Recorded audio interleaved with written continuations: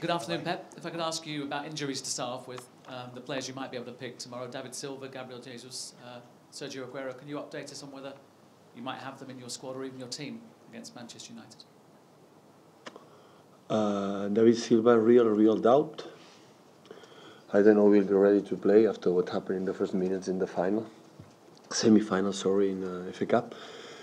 Gabriel is uh, Gabriel is uh, is no pain at all, so he's ready, but three months uh, out of physical condition is his physical condition not optimal, and uh, Sergio is much better.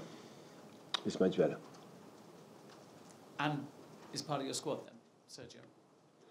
Uh, it's much better. Today make a part, short part of the training session. Tomorrow we will be ready.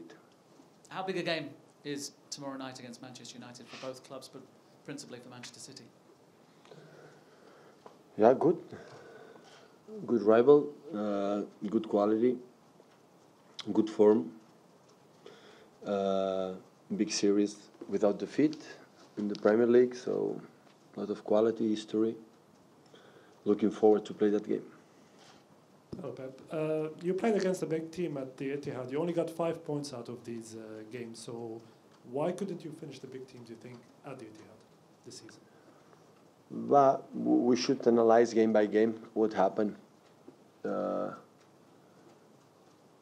the results we can so the result result is a fact but the way we play every game we should talk about them so but of course we have six six games left four games of them in Etihad Stadium so our qualification for the Champions League it will depend in our games at home and tomorrow is the first one of course I want to ask also psychologically how important is the win to each side tomorrow whoever wins would that give them an edge for the race to the top four?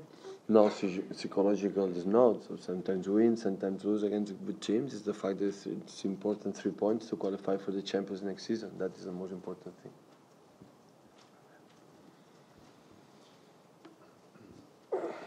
Hi, Pep. Obviously, a very disappointing result on uh, the weekend. How's the mood in the camp been this week? Is, uh, do you sense that people want to put it right with this big game on Thursday? In the stadium? Yeah, how, amongst the players, is it, they're obviously disappointed with, with, the, with the result. How's the mood been this week? Today better than yesterday, and tomorrow will be better than today. Well, you, you get a sense they want to put it right immediately. What happened on the weekend? Ah, it's over. It's past. We played to win. We were better. We didn't win. Congratulations Arsenal.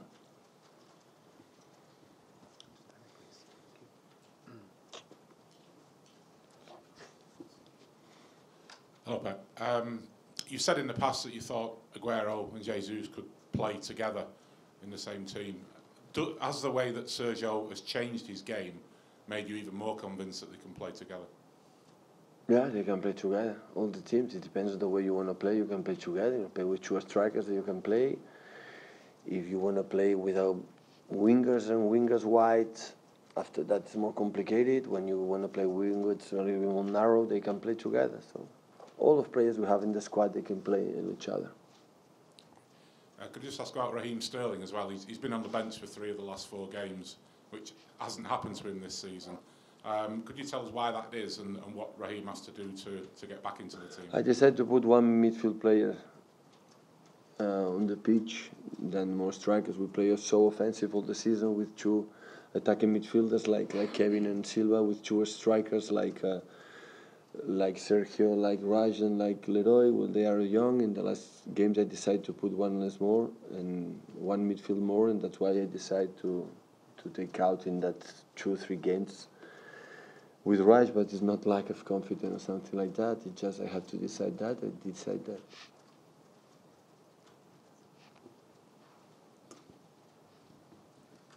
Um, when you arrived, Pep, um, and Jose arrived in Manchester at the same time. Um, you, you, were asked what would happen if you ever bumped into each other during the course of the year. Has that happened at all? Uh, apart from the two games when you played United, have, have you? If I enjoy my part here? No. Ha, have you have you bumped into Jose Mourinho at any point uh, apart from the two games you've played? Ah no, We are neighbors, but no, we don't find it Now, how, how is your relationship uh, these days? good. When we see each other, hi, hi.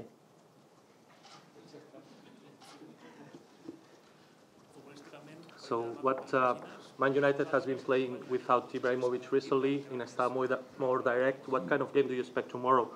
Sí, és un equip que els darrers partits és un... Well, uh, of course they have been playing uh, the last games without him, but uh, they achieved to play the, the way Jose Mourinho wants. Uh, they win a lot of uh, duels between the, the players. It's going to be a really difficult game. Um, the, we will try to bring the game where we want. And of course, Ibra is an excellent player, but they also have uh, great forwards like Lingard, Young, or Rashford that uh, they find the, the spaces behind the defense, and they are good players as well. Um, Mourinho has said uh, City is the favorite to finish in the in the top four.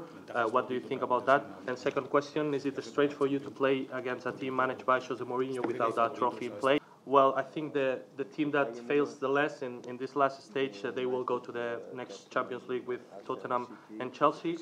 Well, I've been uh, managing for nine years, and this is the, my first year without a trophy. Uh, sometime it has to happen, and it happened this year. And if I extend my, my career long, I'm sure it will happen in the future. But there's also a lot of teams in Europe that they are not going to win any trophy any trophy this season as well.